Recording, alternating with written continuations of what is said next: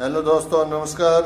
दोस्तों, आज के इस वीडियो में मैं आपको बताऊँगा कि भरवा करेले कैसे बनाए जाते हैं। इसकी रेसिपी आज मैं आपको बताने जा रहा हूँ।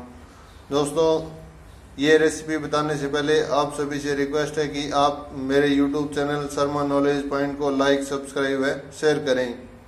दोस्तों भरवा करेले बनाने के लिए सबसे पहले ये हमें करेले लेने हैं। इन करेलों को साफ़ पानी से धोकर और इन्हें बीच में से काट कर इन्हें नमक लगाकर रख दें। अब दोस्तों, हम इनमें नमक लगाकर एक घंटे के लिए रख देंगे। दोस्तों, अब हमने इनको नमक लगा के एक घंटे रख दिया था। अब ये बढ़ने के लिए तैयार है। इनको बीच में से इस प्रकार काटा गया है, ताकि इनमें मसाला भर के इनको बनाया जा सके।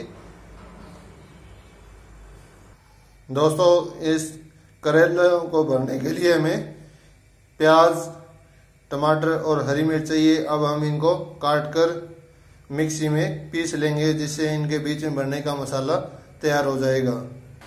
दोस्तों, ये प्याज, टमाटर और मिर्च का मसाला हमने तैयार कर लिया है करेलों में भरने के लिए। अब हम इसे करेलों के बीच में भर देंगे। दोस्तों, इस मसाले के अंदर अपने स्वाद के अनुसार नमक, लाल मिर्च और हल्दी पाउडर मिला लें। दोस्तों, इस प्रकार से हमें इस मसाले को इस करेले के अंदर डालना है। डालने के बाद मैं आपको बताऊँगा कि इसको एक धागे से बाँध दें ताकि ये मसाला पकते समय बाहर ना निकले। अब मैं धागे से इसको बाँध रहा हूँ। दोस्तों, इस प्रकार इस करेले को धागे से बाँध दें ताकि इसका मसाला बाहर ना निकले। अब इन करेलों में हमने सारा मसाला डाल लिया अब हम एक कढ़ाई लेंगे। दोस्तों, हमने कढ़ाई ले लिया और कढ़ाई में हमने एक गिलास तेल डाल लिया है। इस तेल को गर्म होने दें। दोस्तों, अब तेल गर्म हो चुका है। अब हम इसमें करेले डालेंगे।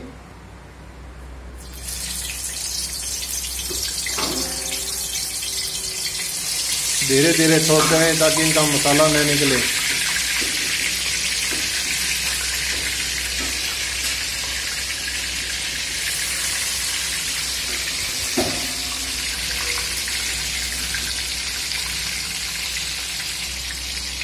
दोस्तों, इनको एक बार डालने के बाद 10 मिनट के लिए छोड़ दें।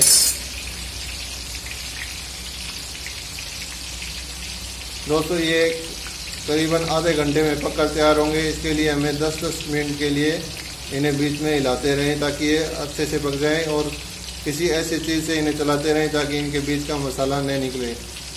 दोस्तों, हमें इनको मीडियम गैस पे पकाना है, फुल गैस नहीं करना है। दोस्तों, अब इनको पकते हुए 10 मिनट हो चुकी है। अब हम इनको थोड़े थोड़े हिला देंगे ताकि ये आराम से दोनों साइड से पक जाएँ। दोस्तों, इनके पकने में करीबन 30 मिनट लगेगी, इसलिए बीच बीच में 10-10 मिनट के बाद इनको हिलाते रहें। और एक चीज़ का विशेष तौर से ध्यान रखें कि इनको ऊपर से ढके नहीं, ढकने पर इनका खरास इनके अंदर ही मिल जाएगा और ये खाने में खारे लगेंगे, इसलिए इनको बिना ढके ही खुले में पकाएँ। दोस्तों, अब इन करेलों को पकते हुए करीबन 15 से 20 मिनट हो चुकी हैं। आप देख रहे हो कि इन करेलों का पकने के बाद रंग बदलना शुरू हो गया ये अब 10 मिनट में अच्छी तरह से पक जाएँगे। दोस्तों, अब ये हमारे करेले बनकर बिल्कुल तैयार हैं।